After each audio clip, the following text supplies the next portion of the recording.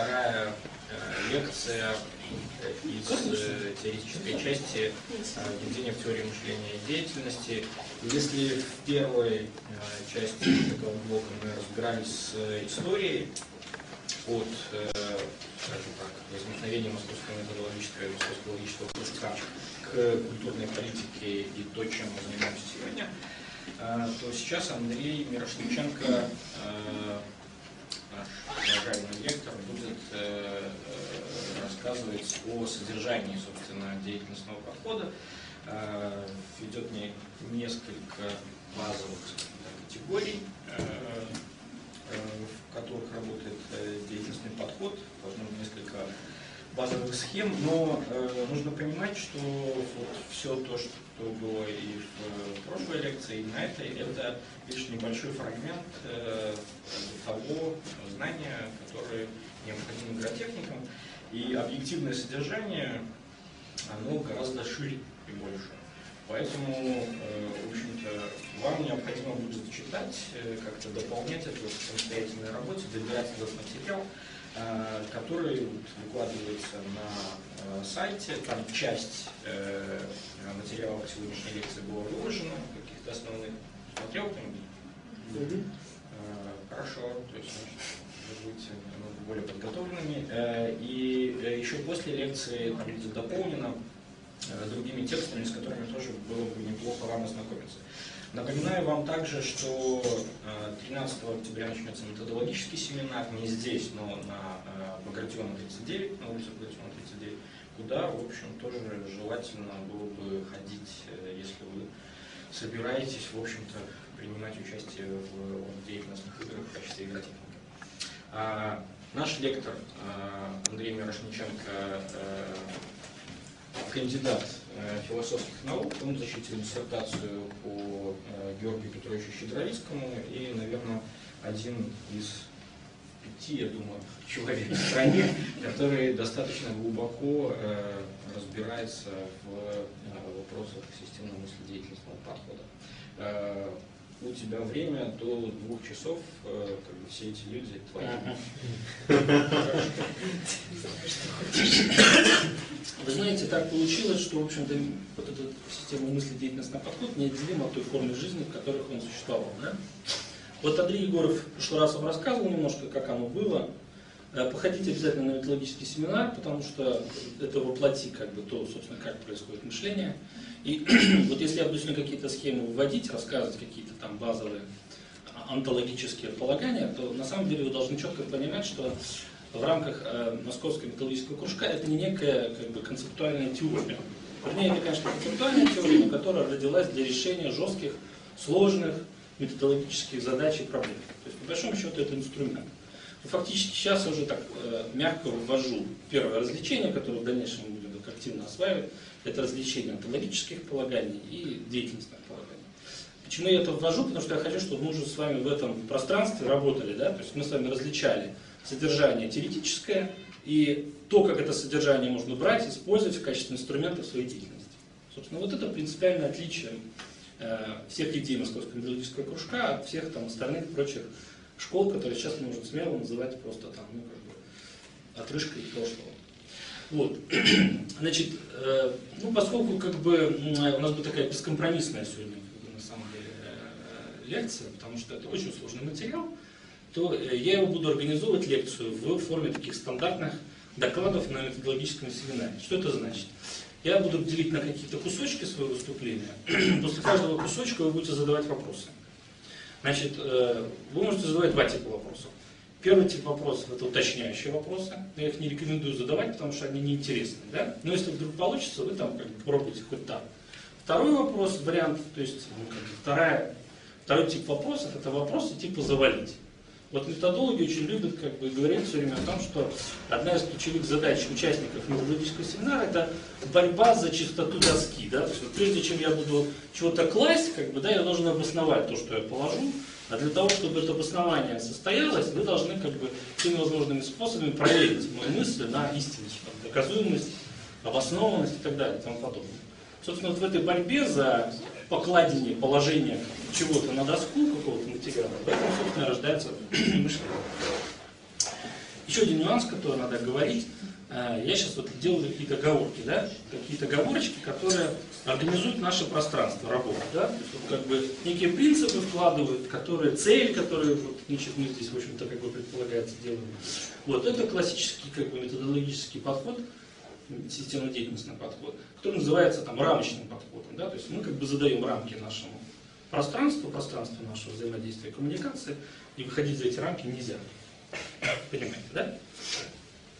И еще один нюанс э, связан с тем, что эти рамочки будут моими. То есть, поскольку я докладчик, как бы я тут главный, вот, э, поскольку у нас тут не методологический семинар, а лекция, а обычно в методологическом семинаре есть свои какие-то правила, да, э, тут их нет,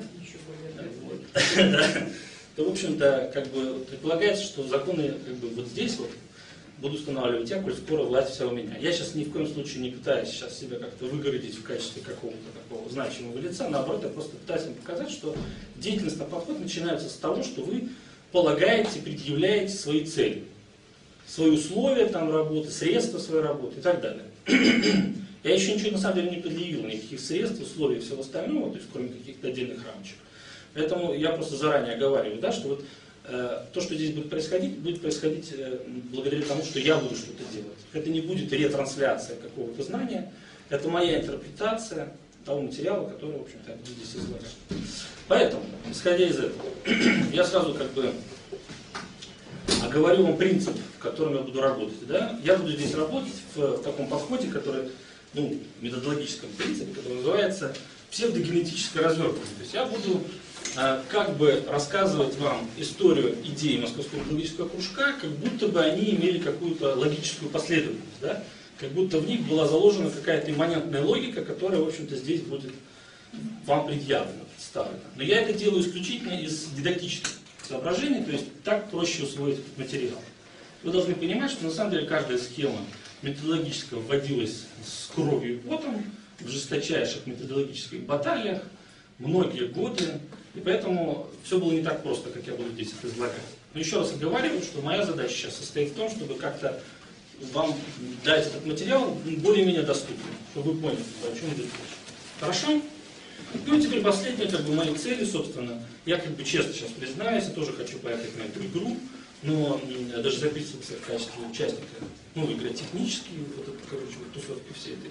Но мои старшие коллеги сказали, уж куда тебе, в общем-то идти в игротехнике. Поэтому, э, э, с одной стороны, моя задача состоит в том, чтобы, в общем-то, завоевать потенциальных каликов по игре, в качестве своих как бы, учеников, соответственно, распространить свою власть на вас.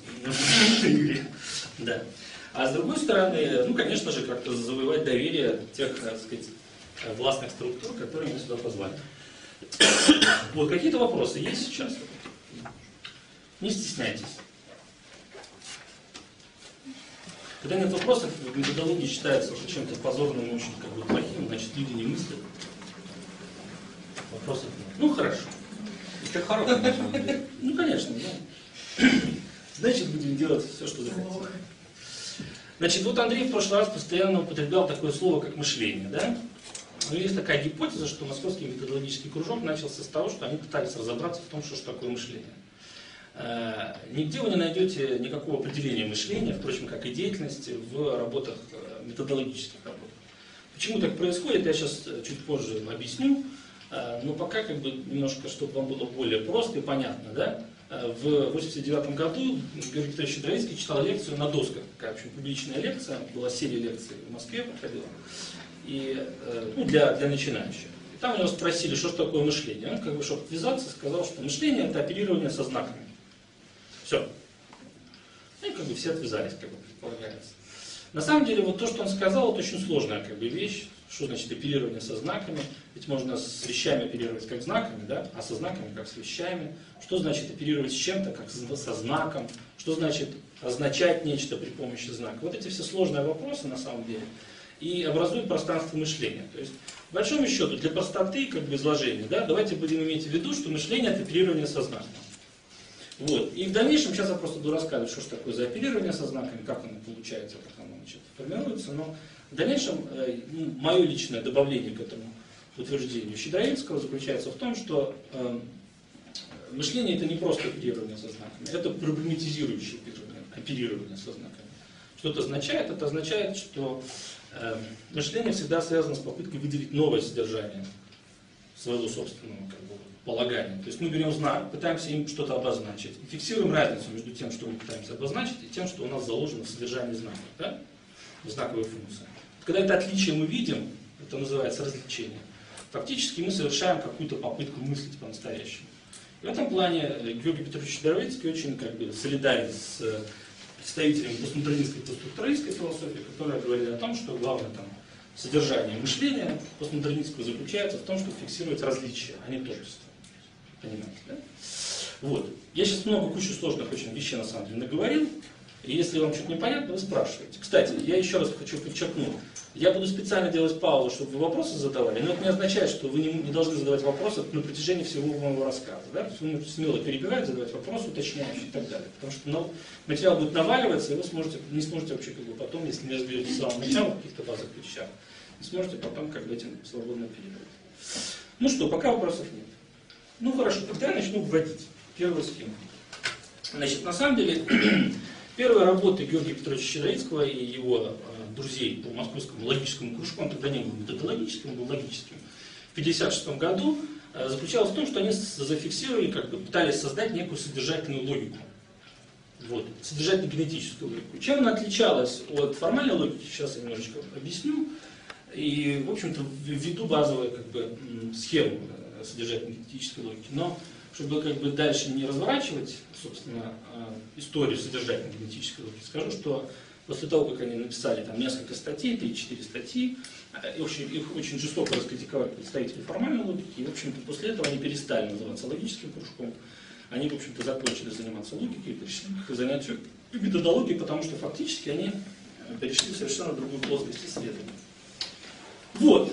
Ну, для начала давайте введем все-таки, чем отличается содержательно-генетическая логика от формальной, и почему содержательно-генетическая логика положила начало, в общем-то, деятельностному подходу. Формальная логика всегда оперирует только формальными, логическими формами. Да? Вы из курса вузовского наверняка помните, что логические формы это там, понятия, суждения, умозаключения там, и так далее. Да? Помните, все умные. Вот, э, значит, на самом деле, э, с точки зрения как бы гносеологической, существует такая еще с Аристотеля, ну, как бы вы, вы же в курсе, что логику вообще-то создал Аристотель, да? И, в общем-то, по большому счету, принципиально она ничем не, как бы с тех пор, как он ее создал, ничем принципиально не отличается вот та формальная логика, которая сейчас существует, от того, что создал э, Аристотель, с точки зрения основных полаганий. А основные полагания заключались в том, что существует некоторая связь между логическими формами, да? Ну, вы знаете, да? Умозаключение – это связь двух суждений и вывод некий. Это связь какая-то, да? Так вот, по, э, с точки зрения Аристотеля, существует прямая зависимость между э, э, логическими формами и вещами. Понимаете, да? Слово «стол» означает «стол». Если слово «стол» каким-то образом связано с какими-то другими словами, например, со словом «стул», вот семантически, то есть с точки зрения связи знаковых, ну то есть вот стол это один знак, стул это второй знак, они как-то между собой логически связаны, да? Мы можем там как-то предположить, что стул это то, что позволяет сидеть за столом, там, ну и всякое такое прочее. Так вот, по Аристотелю существует э, прямое отражение да, э, э, в знаках реального содержания вещей. Это называется параллелизм формы содержания. То есть вещи соответствуют знанию, знания соответствуют вещам. Называется эта штука корреспондентская концепция истины. Но исходя из этого, получается, исследовав зависимости и связи между логическими формами, мы можем полностью исследовать и раскрыть существующие в мире связи. Понимаете, да? Высшая форма этого корреспондентского как бы, полагания явилась гегельская философия, где утверждала, что все разумно действительно, все действительно разумно. То есть э, логическая форма мира является тем э, законом, который является законом этого мира. Все вещи соответствуют этому ну, логическому полаганию. Ну вот, а Георгий Петрович Рыльский сказал, что это все не так. Вот. И на самом деле он ввел самую первую, самую интересную схему, по которой рисуется очень просто. Она рисуется вот, вот следующим вот образом. Значит, она рисуется вот так вот. Вот. Где x у нас является объектом оперирования, то есть, допустим, тот самый реальный стул, о котором мы говорим. Дельта – это какие-то операции, прилагаемые к этому объекту оперирования. Вот эта вот стрелочка, назовем ее, допустим, я не знаю, H. Эта стрелочка означает связь означаемого или замещения. Вот это вот знак, а вот эта стрелочка означает связь отнесения. Ничего не понятно, правда? Вот сейчас мы увидим, почему вообще-то вот эта вот схемка являлась базовым там, первым шагом в формировании деятельностного подхода. Георгий Петрович Дрецкий говорит, каким образом вообще человек формирует, э, конституирует э, некое содержание собственного мышления. Не формы, а содержание собственного мышления. Как он понимает, что стул это не стол, например. Да? Э, то есть понятно, что с точки зрения знаковой, но что знаки берут в качестве своего содержания. И он говорит, что на самом деле существует довольно четкая и простая как бы, операция выделения некого содержания в, в каких-то объектах, которые у нас существуют. Она довольно э, проста. То есть, вот смотрите, вот это вот оперирование знаками, ой, вещами, да, это очень простая вещь. У нас есть некий знак, некоторая вещь, стул. У нас есть так называемый объект-индикатор, объект-эталон. Что это такое? У нас есть какой-то индикатор стульности. В голове есть. Что такое вот стульность? Что такое стульность? То есть без четырех ножек стульев не бывает. Ножки, ножки. сиденье. Его функция какая-то скажем, есть куда сесть. сиденье. Значит, это А, это табуретность. Вот какая функция стула? Есть куда сесть и опереться. Вот вы не слышите, что я спрашиваю? Я спрашиваю, какая функция стула? То есть результат деятельности.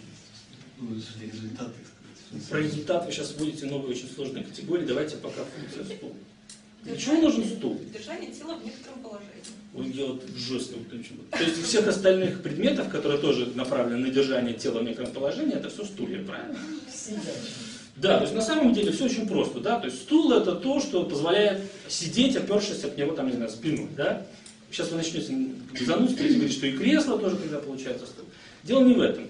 Дело в том, что э, всегда, когда мы говорим про э, познание, про знаковые функции там, и так далее, мы говорим про то, что у нас есть представление о том, норма некоторая, да, эталон, как использовать ту или иную вещь. И, в общем-то, эту норму, эту функцию мы называем стулом. Да? Потом все, что соответствует этой функции, мы называем стулом. Ага, на этом можно сидеть, опершись спиной. Значит, это стул. Понимаете, да? Есть один нюанс, связанный с тем, что как мы фиксируем это свойство, вот это вот, вот это вот свойство, вот э, объект эталон это индикатор. Как мы фиксируем это свойство, что оно есть у этого предмета. У нас есть на самом деле такая простая штука, как объект-индикатор. Вот попа наша опирается, спина, да, а стул. Значит, вот это попа и стул, и спина наша, это то, что позволяет нам говорить о том, что у этой вещи есть вот это вот свойство. Понимаете?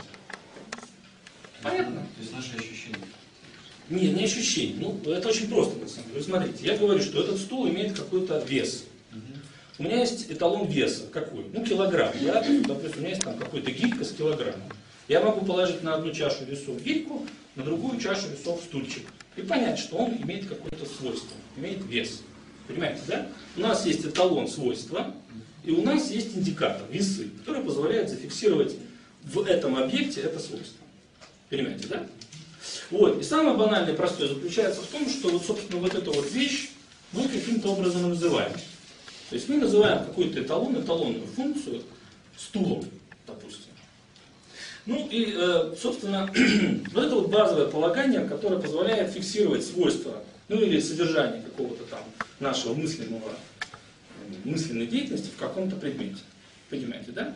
Что такое связь э, отнесения? Мы обозначили это, и в следующий раз, как по отношению к какому-то там другому стульчику, мы можем, в общем-то, сказать, что ага, на самом деле мы, проделав вот эту вот операцию, научились опознавать свойства стульности в каких-то объектах, в каких-то вещах.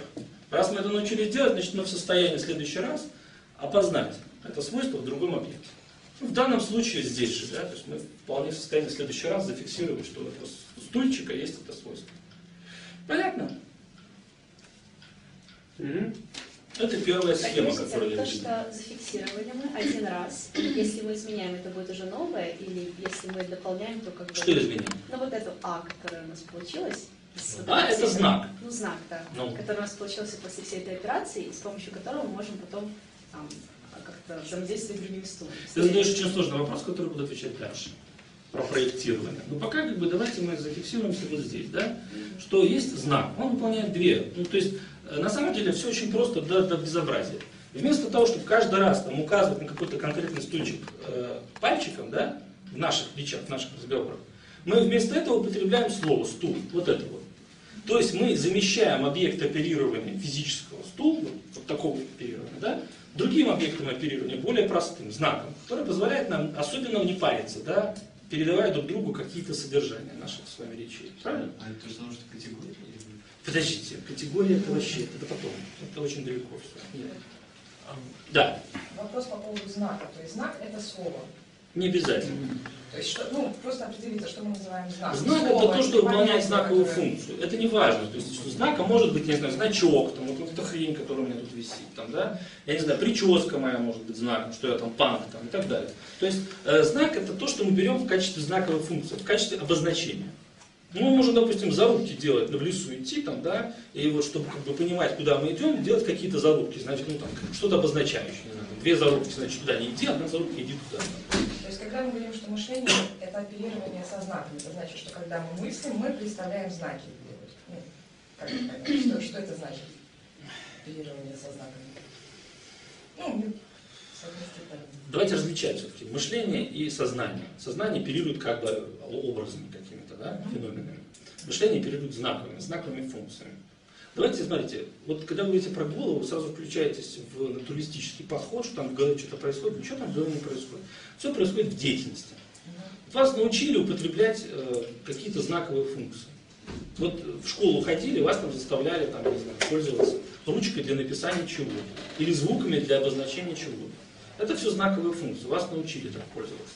То есть в вашей деятельности, которой вас научили, она уже не ваша, поскольку вас ей, ей, ею научили, да, то она как бы пришла к вам извне. Вас научили пользоваться чем-то как знаком. Вот сейчас, вот я не знаю, сколько вам лет, но, предположим, вам 20 лет.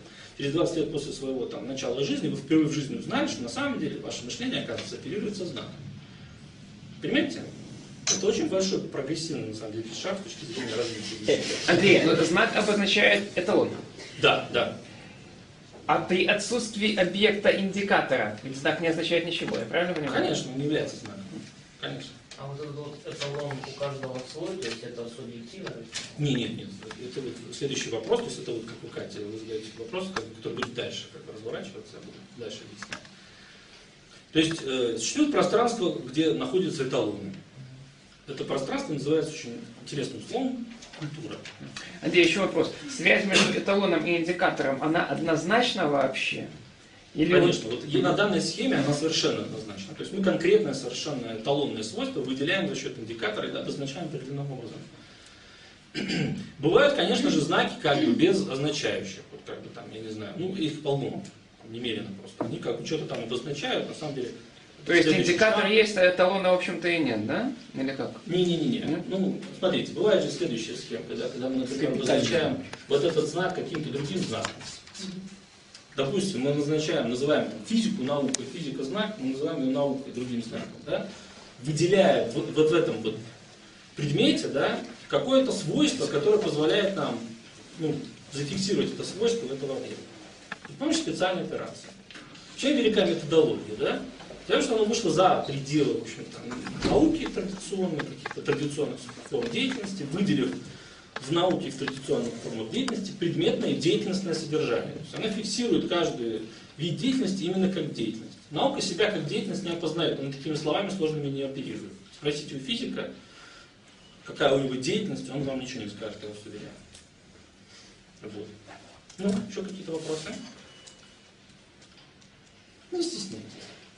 Можете поспорить еще. Ну, не хотите спорить, не надо.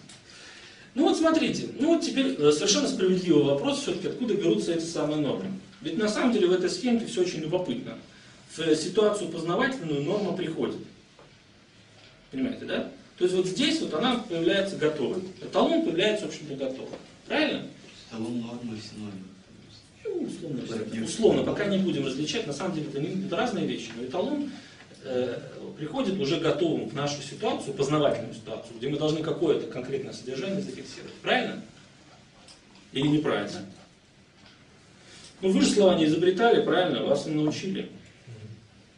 Что-то вы тормозите, господа. Вот. Ну, мы будем бескомпромиссно продолжать, когда нашу речь. Так вот, смотрите, какая интересная штука. Когда, значит, э, щедровитяне разбирались с этой самой сло- сложной штукой, откуда же все-таки берутся-то эталоны, да, вот эти вот, э, эталонные свойства, где они вообще находятся, как они вообще содержатся. Они, в общем, выделили то самое великое пространство культуры, в котором происходит трансляция норм. То норм или эталон, я сейчас не буду различать, на самом деле это разные вещи. Ну, для простоты будем называть это нормой.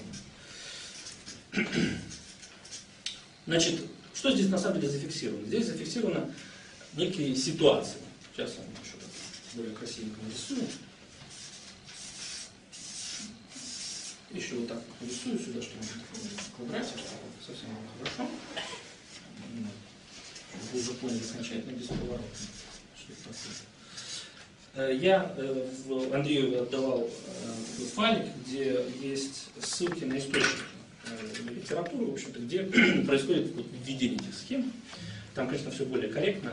На самом деле, вот эта схема, эта схема воспроизводства деятельности, трансляция культуры, эта схемка была введена в связи с двумя вопросами. В связи с вопросами о том, каким образом э, формируется содержание узнания какого-то, да? Это такая работа есть, искусств- естественно, искусственно-семантическая система.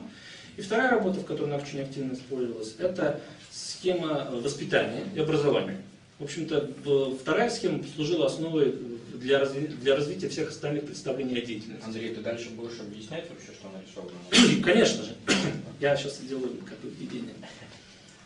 Так вот, э, просто еще раз, прежде чем как бы, продолжать что-то описывать про эту схемку, я небольшое пояснение сделаю, что э, мое мнение заключается в том, что эту схемку они взяли у Толкота Парсонса. Вы же все знаете, кто такой Толкот Парсонс, и э, я не могу как бы не нарадоваться по этому поводу. У него есть такая кла- классическая схема Agile, да, ну, неких четырех функций, которые выполняет социальная система. Одна из этих функций – культурная функция. Культурная функция заключается в том, чтобы транслировать нормы. Вот э, еще раз э, зафиксирую, что я здесь на самом деле нарисовал. Итак, есть некоторое пространство, где происходит трансляция норм. Трансляция откуда куда? Трансляция из одной ситуации деятельности в другую ситуацию деятельности. Ситуация деятельности всегда абсолютно уникальна. То есть мы реализуем некоторую норму в какой-то совершенно уникальной ситуации. Почему она уникальна? Потому что она э, ну, неповторима. Она вот э, случилась, какие-то обстоятельства есть, эти обстоятельства в следующий момент никогда не, не- не появляются в том же самом виде или в том же самом структурном целом. Понимаете, да? Но эталоны всегда существуют как эталоны, да, как нечто неизменное в различных ситуациях. Так вот, они как-то по-разному реализуются в каких-то разных ситуациях. Мы можем просто вот эту, вот эту штучку зарисовать время, да, в разных по времени ситуациях одна и та же норма реализуется по-разному. Понимаете? Здесь нарисована, собственно, ситуация, тут какой-то человечек что-то делает. А вот этим квадратиком обозначены э, какие-то элементы ситуации. Вот сейчас, вот, например, да, пока мы с вами занимаемся делом, куча народу там собирается, что-то там какую-то устраивает, ну, тусовку, да, вот рядом на бангалоре. Это ситуация, которая никогда не повторится, да, то есть количество участников будет разное, разный состав участников, разные цели, погода, все остальное. То есть эта ситуация абсолютно уникальна. Но они реализуют какую-то странную норму, там, да, собираться и там, это и есть некая норма, я не знаю, выражать свое мнение, да, она существует в каких-то неизменных, на самом деле, формах э, в пространстве культуры, но реализуется по-разному в разных как бы, деятельностных ситуациях. Есть одна проблема, заключающаяся в том, что очень часто нормы оказываются неадекватными ситуации. Да? Ну, мы можем сейчас, например, сказать очень амбициозно, что то, что происходит в Бангалоре, это неадекватные действия ситуации, какие-то действия, да? потому что неадекватные какие-то нормы. И поэтому это уже новый переход к какому-то новому шагу.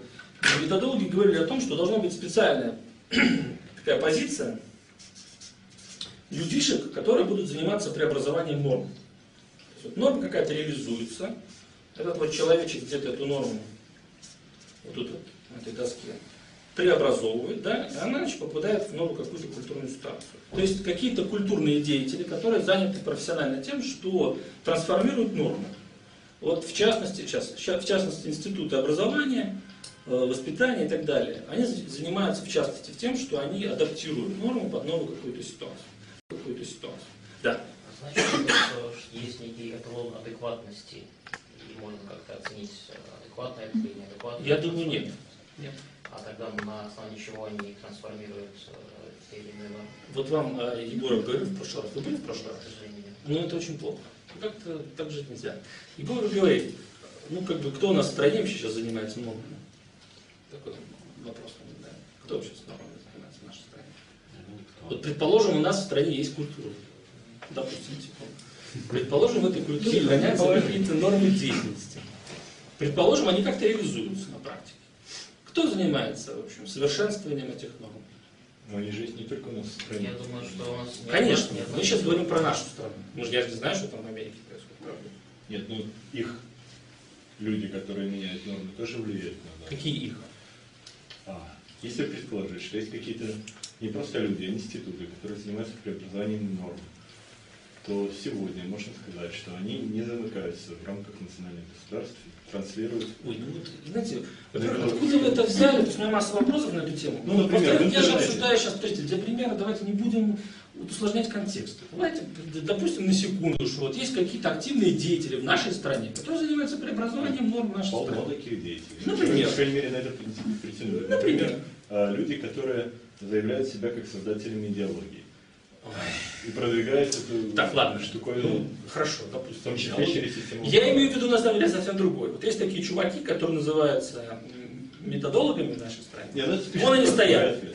Нет, вы посмотрите, вон они стоят. Которые активно говорят о том, что ребята говорят, мы занимаемся здесь тем, что пытаемся здесь заняться культурной политикой. Культурная политика – это политика в области трансформации норм.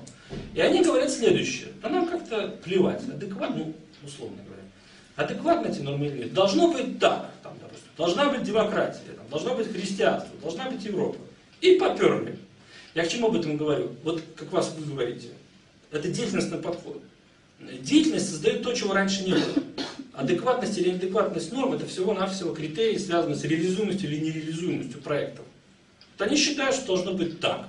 Все и делают так, как должно быть. Вот вас собрали. Так Ну, они ведь оценивают адекватность до того, как проект реализован. Я не знаю, вот вы у них спросите, я не думаю, что они как-то адекватность оценивают. Они такие люди, знаете, как там. Это э, недавно вот я в прошлый раз зачитывал из книжки э, лекции Георгия Петровича Щитовицкого по подготовке игротехников. И он там рассказывает о э, содержании и разворачивании содержания какого-то. Вот Андрей перед вами сейчас разворачивает некое содержание э, того, что делали методологи. И Георгий Петрович, он говорит, что вот бывает так, что как бы, человек оказывается захваченным этим содержанием. То есть вот они начали разбираться с этими знаками, как оперирует мышление, и вот они вот жили вот в этом разворачивании э, схем, как бы, категорий, понятий, усложняя. И вот это захваченное содержанием, она как бы диктовала то, что им делать. И они вот как бы начинали как бы творить, в общем, всякие странные вещи. Там, оргдеятельностные игры проводить, или семинары запускать, или там ругаться там со всеми как бы, э, психологами, которые там, неправильно с точки зрения представляли действия. Их потом выгоняли из институтов, э, как бы вешали таблички, там, что Щедровицкому сюда как бы, доступ запрещен. А, это, и говорит, вот Щедровицкий говорит, что содержание, захваченность содержанием человека, она заставляет его выламываться из социальной структуры. То есть он ведет себя в, со- в там, социальности э, совершенно как бы неправильно, и вот это содержание как бы его э, как бы ведет. И вот точно так же и мы работаем, в общем-то. То есть у нас есть некое содержание, которое начало разворачиваться как бы вот тогда, вот Андрей там указывал, там, 50-е годы. Вот сейчас логика разворачивания этого содержания требует от нас там, э, совершения определенных действий. То есть мы живем вот в этом разворачивающейся программе. А, И э, это, в этом смысле, идеальное содержание, оно является главным. А что уж там в социальности по этому поводу происходит, так это просто обстоятельства нашей деятельности. Точно так же, вот, как бы, Андрей вам рассказывает, вы что-то не понимаете. Ну, это такая ситуация, я просто поясню, может быть, про Андрея. Ну, еще раз, э, культура пространства – это пространство абсолютного искусственного какого-то там действования. Вот если вы не хотите транслировать нормы, культура может закончиться. Ну, там, институты, например. Закрыли ЕГУ, допустим. Зачем же закрыли? Чтобы там не, транслировались какие-то нормы, вот, которые там где-то в Европе или там в США как бы создаются, здесь пытаются так, адекватизироваться. А, Есть небольшая проблема, ну, в частности, как вы говорите, с институтами западными, например.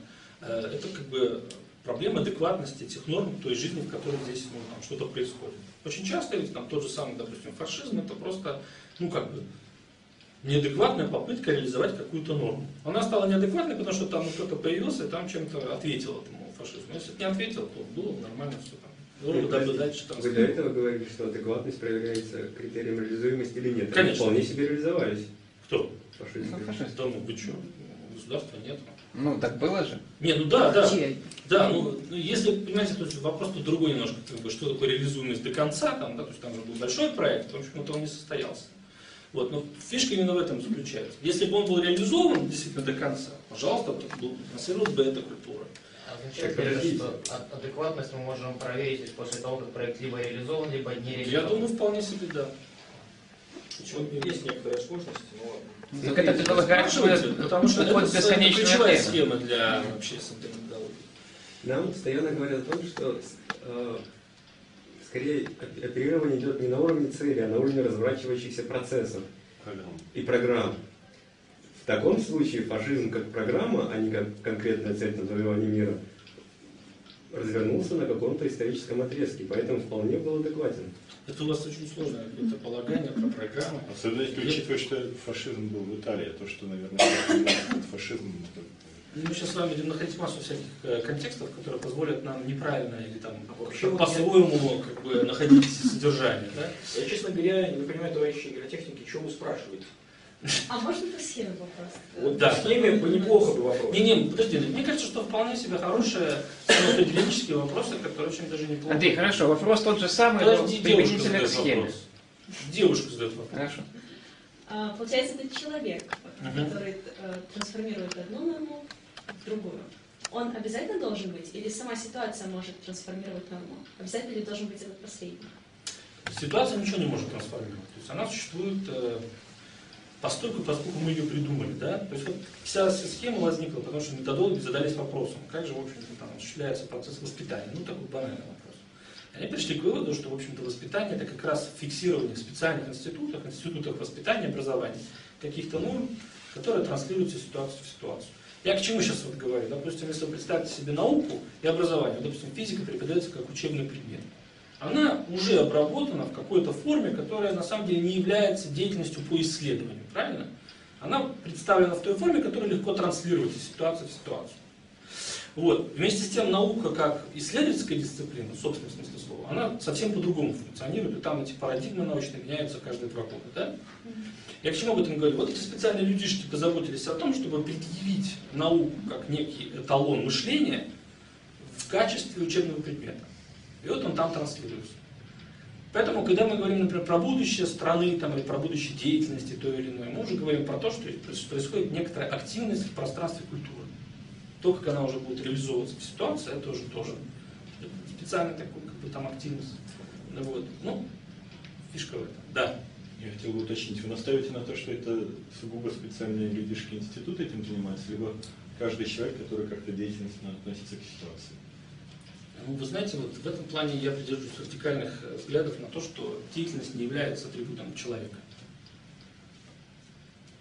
Я не понял. что- Если вы хотите, ну, мое мнение персонально, если вы хотите повлиять на пространство культуры, вам надо создать некий институт. Ну вот институт не в плане учреждения, да, а институт как, как бы пространство, в котором осуществляется там, заготовка Да, норм, но вы сказали, запуск что есть специальные люди, которые этим занимаются Конечно. профессионально. Я, Я вам вот приведу пример. Про людей это Андрей как бы в, в этом смысле говорит с некоторой как бы натяжкой. Люди, Почему? они там, Нет. в реальности. Я вам приведу пример. Мой ребенок сейчас учится... Это я говорю про разделение, в общем-то, того, что ты рисуешь на доске как деятельностную Ну, позицию, называя это людьми. А потом Ярослав А, да, да, да, да, думает, да, да, что да. это люди. Сейчас мы будем... Я, я В виноват. смысле, личности. Я виноват, потому что я уже далеко пошел вперед. Есть специальная профессиональная позиция, ее могут выполнять и роботы, в общем-то, если они будут соответствующего уровня. Как бы. Но, в общем-то, есть профессиональная позиция, которая занята тем, чтобы сохранять, там, от- отряхивать от пыли, там, да, совершенствовать некие нормы, которые транслируются в деятельности. Приведу пример, еще раз повторяю. Э, Значит, мой ребенок сейчас учится во втором классе.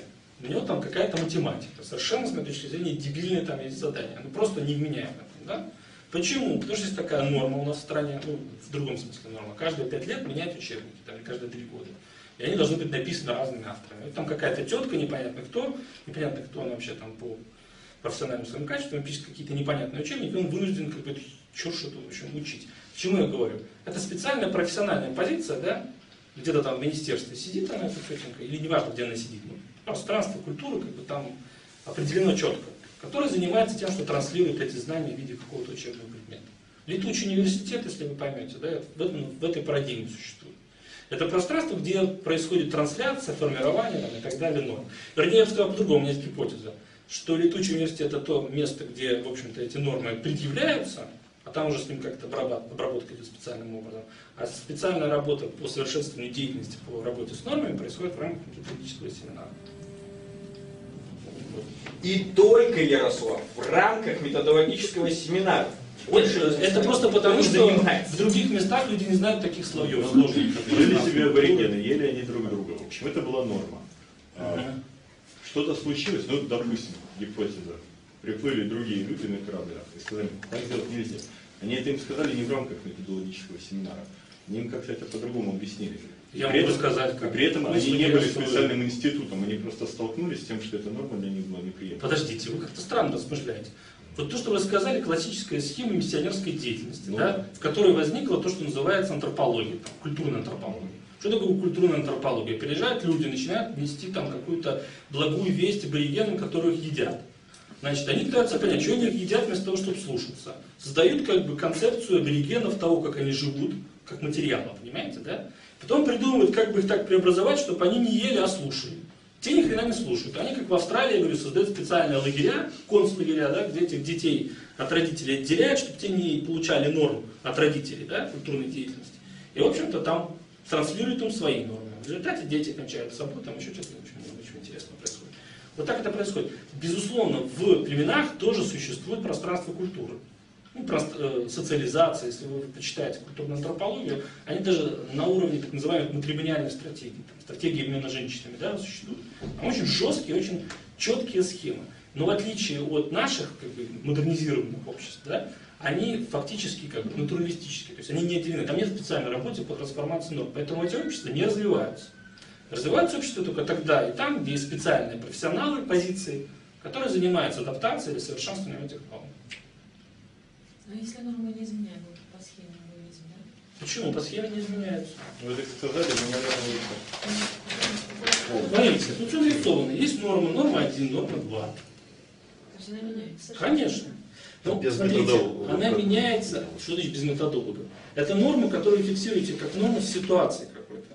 Вы можете понять неправильно, и это будет другая норма какая-то. Да? Вы можете интерпретировать норму как-то по-своему, правильно? Тем самым, если вы ее, как это, в любой организации должна быть какая-то девиация. То есть в любой организации должна существовать какая-то совокупность норм деятельности, которая предписывает ту или иную форму поведения. Но если находится один человечек, который применяет или адаптирует, или трансформирует эту норму каким-то волюнтаристическим способом, ну сам по себе взял и изменил, и это позволило получить лучшие результаты, организация должна понимать, что ага, значит мы можем вот эту норму взять, вернее так преобразованную норму взять, и сделать ее нормой для всех организаций. На этом, в принципе, существует как бы основано. Андрей, э, не переворачивайся. Э, Границы ситуации или рамки ситуации, они как задаются? Нет. Такой вопрос специфический. Вот я сейчас еще одну понятийную по-разному. дифференциацию введу, чтобы мы поняли. Э, вот в лингвистике есть такие два термина – парадигматика и синтагматика. Парадигматика – это нечто, ну, парадигма, в случае с греческого переводится как эталон, да, норма какая-то. А синтагма – это нерасчленимое целое. Вот если у вас есть какие-то понятия, категории, да, которыми вы можете эту ситуацию описать как ситуацию, то границами вашей ситуации будет то, что вы описываете как ситуацию при помощи ваших категорий понятий. Если у вас недостаточно или мало этих понятий, категорий и так далее, вы, ваша ситуация будет гораздо уже. То есть ситуация это то, что на самом деле вы задаете как ситуацию. Но я скажу еще больше, уже вперед мы пойдем. Ситуация это то, что задается в пространстве коммуникации как ситуация. Ну это понятно? Да, спасибо. Еще есть какие-то вопросы? Нет вопросов. Итак, вы задаете вопрос, совершенно справедливый, да? каким же образом человек э, трансформирует некие нормы. Вообще, что же такое деятельность, да? Вот эта схема, это была первая схема деятельности, потому что она задавала базовое развлечение. Нормы и реализация, да? Человек, есть такая гипотеза, реализует некие нормы в каких-то ситуациях. И э, методологи, значит, вот когда они размышляли, каким же образом методолог, там, педагог трансформирует норму, они ввели э, схему там, акта деятельности, простейшую схему, элементарную схему, которая объясняет то, как, собственно, человек осуществляет акт деятельности. Хочу еще раз подчеркнуть, это не деятельность, это только акт деятельности, и то взят из специальной абстракции для того, чтобы понять, как происходит трансформация, там, допустим, норм э, в, в какую-то там деятельностную А ситуацию. деятельность ну, Элемент. Некий шаг в рамках большой деятельности. Есть такая гипотеза, она абсолютно неправильна. Но, допустим, как бы для понимания она годится, что деятельность состоит из каких-то актов деятельности. Понимаете, да? И, в общем-то, вот этот вот акт, как простейший элемент деятельности, мы должны зафиксировать. Если вы будете заниматься агротехнической деятельностью, допустим, гипотетически, что вы сможете это сделать, э, вот эта схема акта деятельности позволяет очень довольно, вот, довольно просто описать ту самую ситуацию, о которой вы говорите. Есть разные с- средства описания ситуации, это один из этих способов. Значит, в... она довольно простая, я как бы долго м, не буду на ней останавливаться, просто поясню. Э, Значит, методология фиксирует это следующим образом. Значит, есть некая деятельностная позиция. Когда я рисую человечка, без вот этого вот овальчика, это человечек. Когда есть овальчик, это некое функциональное место в рамках деятельности. Сейчас не будем на этом останавливаться, что это такое. Когда я рисую человечка, занимающего какое-то функциональное место, это позиция. Значит, э, этот человечек осуществляет преобразование какого-то материала в какой-то продукт. У него есть так называемое табло сознания ваше, на котором фиксируются цели деятельности, цели, да, там, проекты. Проекты это как бы некое представление желаемого продукта, да, программы и так далее. Все это есть в сознании. Разные другие вещи, да. Кроме этого, у него есть какие-то средства деятельности, да, средства деятельности. Ну, в них входит много чего. Надо с кем-то о чем-то договориться, правильно? Кстати, тут же оно состоит из каких-то простейших операций. То есть как деятельность, действие, я прошу прощения, состоит из каких-то операций. Процедур, операций, много, много всяких элементов. Операции, процедуры. Процедуры. И, в общем-то, задача э, ак- активного деятеля состоит в том, чтобы преобразовать некий материал некий продукт. Понимаете? Допустим, есть человек, который хочет создать э, стул. У него, значит, есть под рукой материал. Значит, во-первых, у него есть сознание, представление о том, что такое стул. Вы сразу спросите, откуда оно взялось. Конечно же, из пространства культуры. Есть эта норма, она все здесь фиксируется у человека. Значит, он берет оттуда эту норму, пытается понять, как же ему преобразовать вот эту вот кучу дерева в, в стул. Да? Для этого он там рисует себе какую-то схемку. Схемку сборки стула из де- дерева. Там, да? Он берет молоточек, гвоздики, преобразовывает этот материал в этот продукт. Вот вам как бы то, что делается. Ситуация, допустим. Э, Игротехники, методологи очень любят выпендриваться, они сразу задают какую-то активную позицию человеку в какой-то ситуации. Одним простым вопросом. Я спрашиваю, что ты тут делаешь? Да? Кто-то начинает со мной там спорить про институт, там, про что-то. Я с точки зрения методологии должен был совершенно правильно спросить, а что вы вообще сейчас делаете, что вы осуществляете. То есть, ну, как бы останавливаем ситуацию и прописываем ее, вот, допустим, по этим вот каким-то э, ну, элементам, чтобы четко понять, что вы там на самом деле делаете. Э, Беда заключается в том, что в 99% случаев люди не понимают, что они делают. Они как раз действуют в рамках какой-то нормы, которую не понимают. Э, Реализуют ее в ситуации, которая, в общем-то, неадекватна этой ситуации, ну, этой нормы. Вот. И почему-то, ну, как бы там считают, что они имеют на это право. Да, при том, что, в общем-то, люди занимаются совсем другим каким-то делом. Вот. Ну, в общем-то, вот эта вот базовая схема связана с актом деятельности. Давайте какие-то вопросы про нее есть. Рисование стула, проекта стула, это же уже акт деятельности. Нет, это элемент деятельности. Элемент акта деятельности. А здесь материал может быть любой, да? То есть не стул, а даже там музыка. Конечно, да. Когда вы берете ребеночка и воспитываете его из э, немовлята, там, который не в состоянии ничего делать, в активного гражданина нашего общества, вы его используете как материал. Функциональная позиция может быть любого размера, которую можно занять один человек, группа, государство и нация. Да. Ну как? Ну, смотря в какой ситуации. То есть, так. Вы, например, здесь вот являетесь, знаете, кем я сейчас скажу вам большую тайну? Вы понимаете. вам предъявляются специфические требования к материалу, например, наличие собственных целей. Поэтому вас все время провоцируют, а вы почему-то не провоцируетесь. От вас хотят собственных целей, активной позиции по отношению к происходящему. Вы ее не занимаете. Ну, это нормально для материала, который существует в нашем обществе. Это совершенно нормально. Я сейчас никого не пытаюсь обидеть, я наоборот пытаюсь спровоцировать вашу активность. Еще хотите из нас вырастить тех человечков, которые двигают нормы, и из них образуется культура, да? Какой Нет. продукт Вы будете просто игротехником. Это вы так слишком много. Вы будете просто элементом, техническим элементом в рамках системы игры. О чем вам расскажут потом. Возможно, когда-то вы станете методологом. Методологи тусуются на методологическом семинаре, а игротехники здесь. Пространство место разделены, способы там активности. Вы, может, там и не выживете, вы сходите на методологический семинар. Может, вам не понравится в принципе. Здесь же мы очень мягкие, аккуратные, корректные. Нормы тоже могут быть материалом и продуктом. Конечно. ну вот В той схеме, которую я рисовал, собственно, я для того сейчас ввел вот эту вот э, схему акта деятельности, там, безусловно, э, одни нормы становятся материалом для других норм. Если мы пытаемся реализовать, допустим, нормы Европы, э, допустим, демократические нормы Европы для нашей конкретной ситуации страны, где никогда в жизни этого не было, мы должны, безусловно, эти нормы каким-то образом трансформировать.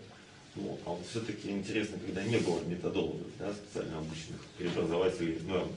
Вот, ну и, допустим, была норма там земля плоская, да, приходит чувак какой-то и говорит, нет, вот у меня новая норма есть, она круглая. И, ну, то есть он является преобразователем, хотя не является методологом. Ну, то есть, собственно, а, как это, а, ну, происходит столкновение каких-то норм, да, ну, вот старых с новыми там, и запускается какой-то процесс без методологов. Нет, это вы очень сильно заблуждаетесь. Нет. Это, в общем-то, тогда и началось появление методологии. Когда есть э, примитивные, ну, ладно, примитивные, какие-то представления о мире, и появляется пространство, где можно о них говорить, задавать вопросы. Вот таким пространством стала зарождающаяся наука. Но она тогда была не наукой, а именно пространством методологии. Вы читаете Галилея, э, как там, я не помню, работу есть. В двух новых науках механика. Да, ну, он не науку писал, он сидел и разбирался. А Как же так вот, блин, почему Аристотель не прав? Да? Вот в этом пространстве он создавал то, что в дальнейшем стало наукой. Он создавал основания для того, чтобы в дальнейшем вводить новые онтологические полагания. Понимаете? Только вот такими макарами, в общем-то, либо же идет уничтожение одной деятельности, другой деятельности. Приходят варвары и режут ну, нафиг всех этих э, греков или там кого-нибудь там резали. Хотя потом взяли, ассимилировали некоторых. Ну вот.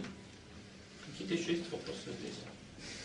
Давайте активно. Вот по этой схеме. Да. есть, Получается, вы хотите, чтобы, ну, скажем, я занял позицию и вел цель относительно нашей работы? Я хочу, я не Ну, хочу. Ну, то есть я не хочу про вас ничего.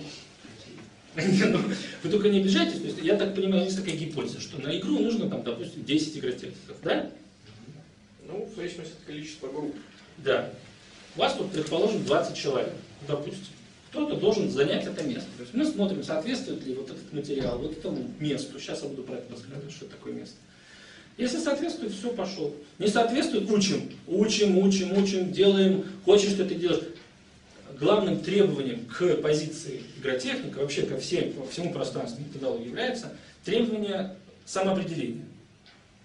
Э, С этой точки зрения, ну это я сейчас свою точку зрения высказываю, если вы сказали, это все говно, я сюда ходить не буду, и пошли вы все нафиг, это нормальное, адекватное самоопределение по отношению к тому, что происходит. В этом плане вы гораздо выше, допустим, того человека, который пытается за всех сил адаптироваться к тому, что здесь происходит, да, приспособиться, да, нерефлексивно берет нормы, а потом их пытается как-то реализовать. Это никак не развивает деятельность игротехническую, методологическую. Но опять же, это я забегаю вперед, потому что я сейчас вам рассказываю о том, как это происходит в методологии развития вот этой вот самой деятельности. Вот. Ну, все понятно, правда? Что непонятно? Вообще довольно много, потому что для не сильно подготовленного человека это оказывается очень таким жестким загрузом. Вот, и любую идею, вообще какую-то там теорию с числом там, базовых понятий опорных более трех, ее не, каждый сможет так прямо сразу Ну и воспринять. А здесь это Подождите, явный- это еще только начало. Сегодня идет, я же говорю, бескомпромиссный, жесткий теоретический материал. Это только начало. Вот, и если бы из этого всего удовольствия выделили действительно вот там три опорных базовых понятия, на а, основе которых можно было бы развить эту теорию, то, э, поверьте, время и ресурсы на понимание гораздо меньше нужны.